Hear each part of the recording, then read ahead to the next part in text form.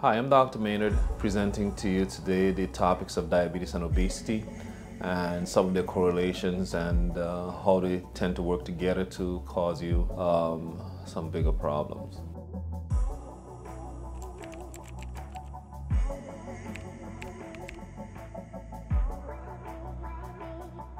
Um, patients who have obesity have a 10 times risk of developing diabetes.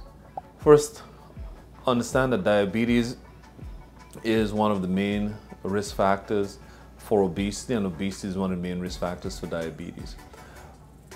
45% of patients who have diabetes are obese and about 15% of them are morbidly obese.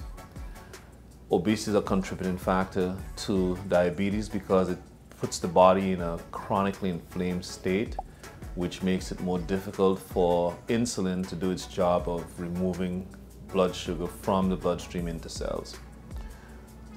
There are a couple things about diabetes, uh, a couple stages. I think the overview of, of diabetes is really one of a insidious disease. So it is present and doing its damage long before the damage shows up as major problems. So diabetes initially starts as a pre-diabetic state. Patients who have pre-diabetes have a 30% chance of converting to full diabetes in a three to five year period. Patients who have pre-diabetes have a 70% lifetime risk of converting to full diabetes. Uh, approximately 85% of patients who have pre-diabetes do not have awareness that they have pre-diabetes. Essentially, their blood sugars are a little bit higher uh, they stay higher consistently. That elevated blood sugar is what does the damage over time.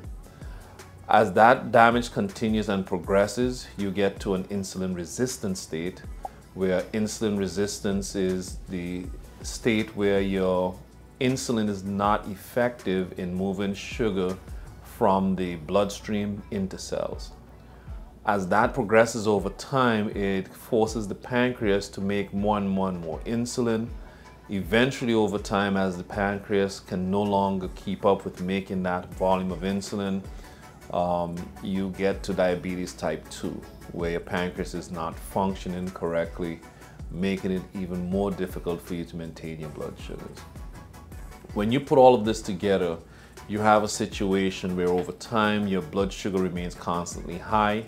This is what damages your nerve fibers, this is what damages your blood vessels, and ultimately brings damage to your kidneys, your liver, your vision.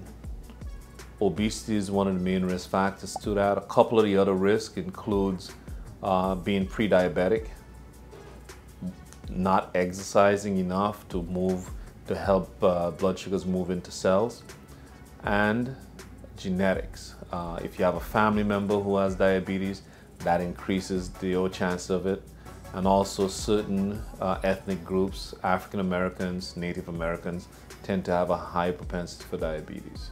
Thanks for watching.